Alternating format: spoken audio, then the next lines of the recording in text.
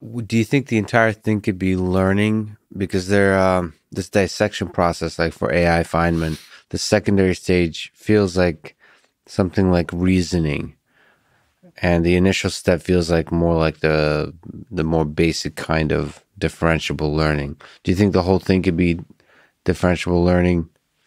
Do you think the whole thing could be basically neural networks on top of each other? It's like turtles all the way down. Could it be neural networks all the way down? I mean, it's, that's a really interesting question. We know that in, in your case, it is neural networks all the way down because that's Allegedly. all you have in your skull as a bunch of neurons doing their thing, right? Yeah. But uh, if you ask the question more generally, what what algorithms are your brain is your brain are, are being used in your brain, yeah. right? I think it's super interesting to compare. I think we've gone a little bit backwards historically because we humans first discovered good old-fashioned AI, the logic-based AI that we often call GOFAI for good old fashioned AI. And then more recently, we did machine learning because it required bigger computers. So we had to discover it later. So we think of machine learning with neural networks as the modern thing and the logic based AI as the old fashioned thing. But if you look at evolution on Earth, right, it's actually been the other way around.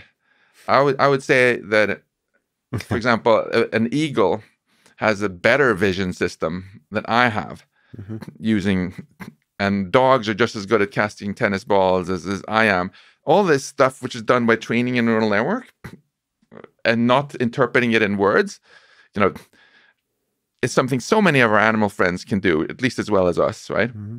What is it that we humans can do that the chipmunks and the eagles cannot?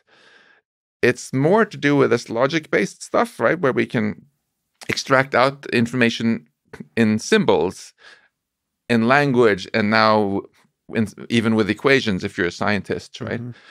So basically, what happened was first we built these computers that could multiply numbers real fast and manipulate symbols, mm-hmm. and we felt they were pretty dumb. And, that, and then we made uh, neural networks that can see as well as a cat can and do a lot of this inscrutable black box neural networks what we humans can do also is put the two together in a useful way. Yes. So artificial in our own brain. Yes, in our own brain. So if we ever want to get artificial general intelligence that can do all jobs as well as humans can, right? Then that's what's going to be required to be able to combine the neural networks with with um, symbolic, combine the old AI with the new AI in a good way.